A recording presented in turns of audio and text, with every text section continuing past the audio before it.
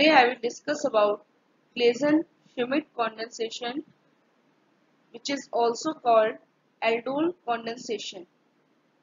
Now I will discuss the principle of Claisen-Schmidt condensation reaction.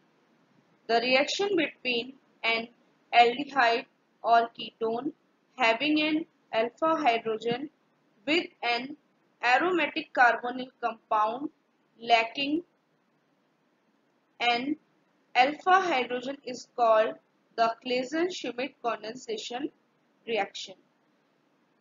Principle depend करता है Claisen Schmidt condensation का इसमें reaction होती है एल्डिहाइड या कीटोन कंपाउंड की, जिस जिसके पास एक अल्फ़ा हाइड्रोजन होता है और रिएक्शन होती किसके साथ है किसी aromatic carbonyl compound means aromatic aldehyde या कीटोन के साथ, जिसमें अल्फ़ा हाइड्रोजन नहीं होता है। तो हमें क्या ध्यान रखना है इसके प्रिंसिपल में कि इनकी रिएक्शन जो होती है क्लेजन शिमिट की, वो एल्डोल कॉन्डेंसेशन की तरह ही होता है इसका मैकेनिज्म तो इसमें जो सिंपल एल्डिहाइड और कीटोन लेते हैं, उसमें अल्फ़ा हाइड्रोजन प्रेजेंट होता है और जब रिएक्शन कराते हैं एरोमेटिक कार्बोनिल कंपाउंड के साथ तो वो विदाउट अल्फा हाइड्रोजन होता है this is called Claisen Schmidt condensation reaction Now, I will discuss this reaction is named by invest investigators Rainer, Ludwig, Claisen and J.G. Schmidt who independently published on this topic in 1880 and 1881. An aldol condensation is a condensation reaction in organic chemistry in which an enol or an enolate ion reacts with a carbonyl compound to form a beta hydroxy aldehyde or beta hydroxy ketone and aldol reaction followed by dehydration to give a conjugated enone. तो aldol condensation क्योंकि जैसे कि मैंने बताया कि Claisen Schmidt reaction is also known as aldol condensation तो हमें पता होना चाहिए कि एल्डोल कंडेंसेशन रिएक्शन में होता क्या है? Aldol condensation is a condensation reaction condensation reaction होती है ऑर्गेनिक केमिस्ट्री में, जिसमें इनोन और इनोलेट आयन रिएक्ट करते हैं कार्बोनिल कंपाउंड के साथ और फॉर्म करते हैं बीटा हाइड्रोक्सी एल्डिहाइड और beta hydroxy ketone and this is known as aldol reaction, followed by dehydration.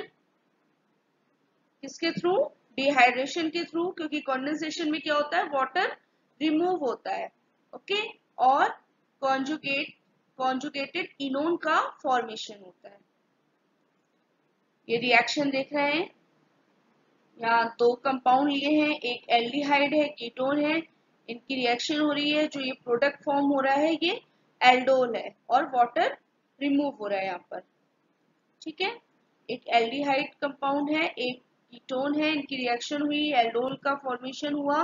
Aldol means ये कॉन्जुगेटेड डायोन्स का फॉर्मेशन हुआ और वाटर रिमूव हो गया। तो ये हो गई condensation reaction now I will discuss mechanism of reaction तो सबसे पहले हम यहाँ देखेंगे मैकेनिज्म में कि तीन स्टेप्स इन्वॉल्व होते हैं क्लेजर शिमिट की मैकेनिज्म में।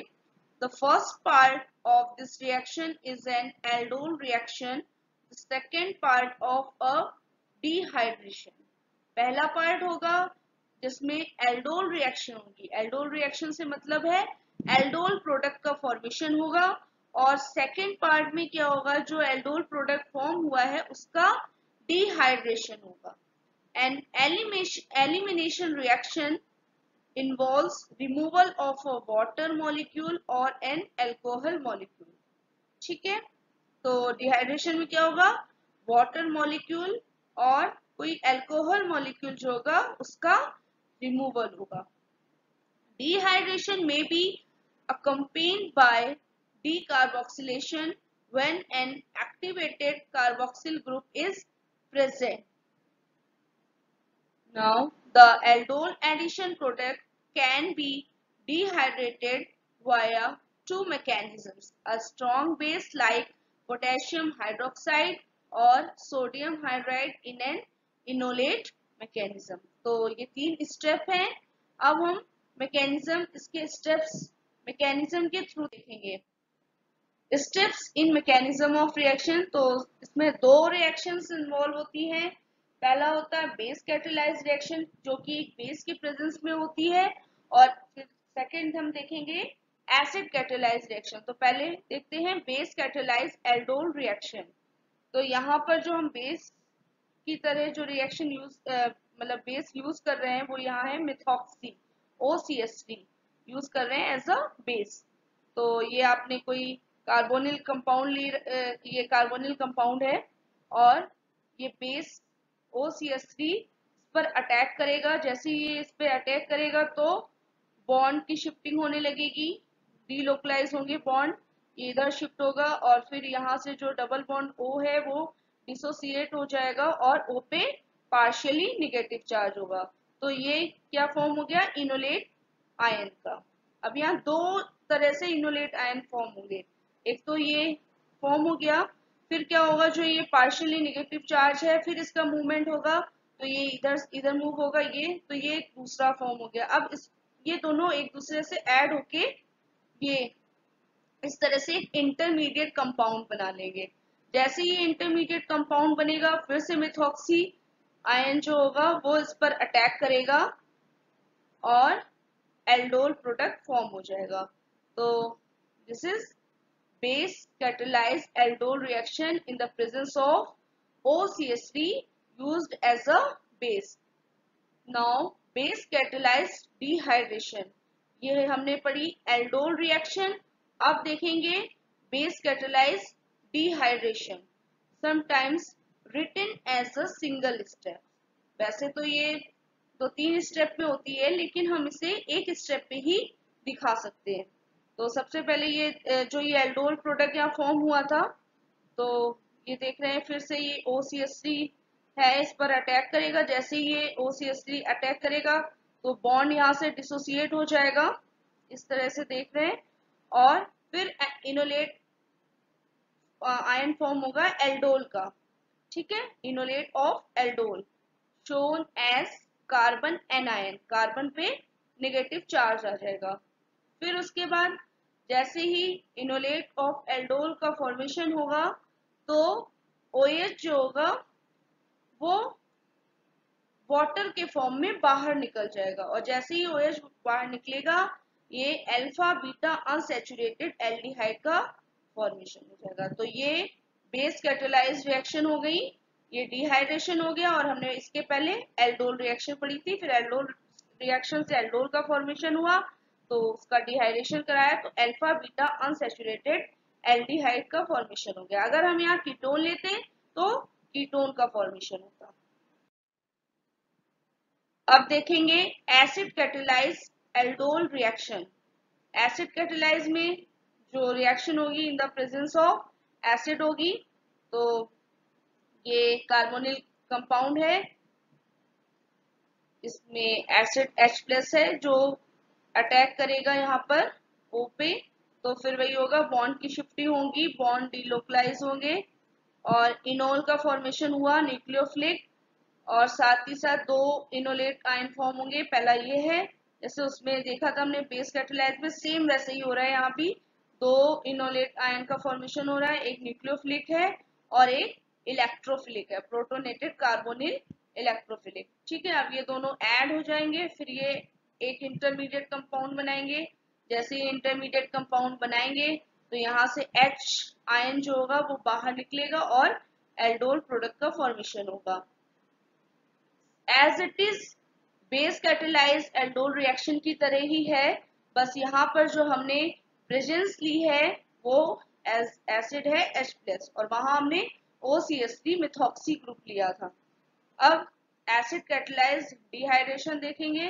एसिड कैटेलाइज डिहाइड्रेशन में जो ये एल्डोल प्रोडक्ट फॉर्म हुआ है, फिर से वही एसिड अटैक करेगा। एसिड के अटैक करते ही बॉन्ड डिलोकलाइज होंगे।